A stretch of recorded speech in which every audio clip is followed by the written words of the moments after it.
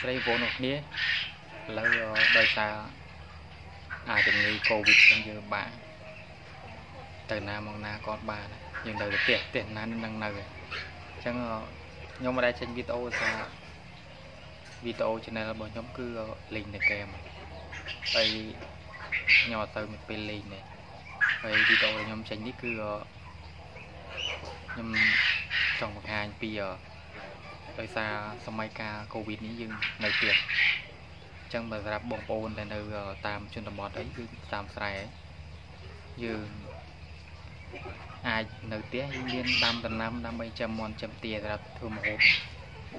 ព្រោះយើងនេះរដ្ឋាភិបាលឬក៏ប្រទេសយើងដើម្បីការពារចូលរួមការពារកូវីដហ្នឹងយើងហើយមានម្ហូបមានអីជាងបាទៅផ្សារទៅក៏បានតែអ្នកដែលនៅទីក្រុងអីគឺបែរគាត់បាក់ព្រោះ កាលណាតែបិទផ្លូវបិទអីហើយអ្នកដែលមានអ្នកអីអ្នកដែល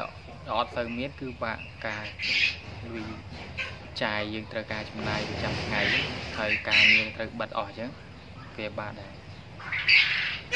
ទៅសម្រាប់អ្នកនៅតាមស្រុកស្រែខ្ញុំជឿថាអត់មានអត់ខ្វះម្ហូបមន់ទា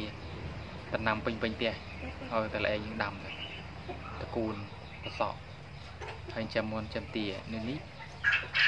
ដើមឆៃយ៉ា គេចឹងថាដើមផ្អែម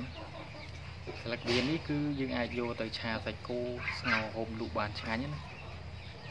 ហើយនេះគឺខ្ញុំបេះហ្នឹងគឺបេះយកឲ្យមន់ទាខ្ញុំហូបអវាស៊ីបែរមន់ទាស៊ីហើយសង្ឃឹមថាបងប្អូនអស់នេះគឺនឹងបានអស់នឹងជិះឆ្ងាយពីជំងឺ Covid ទាំងអស់គ្នាហើយព្យាយាមរក្សាកម្រិតនៅផ្ទះយើងកាត់ថយការជួបជុំទៅព្រោះ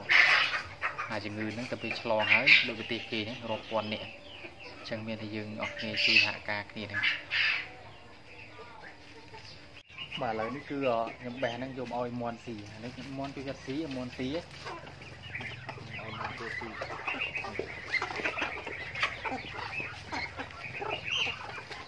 អាស្លឹកវាមន់ស៊ីសម្បូរជាប្រូតេអ៊ីនអមមន់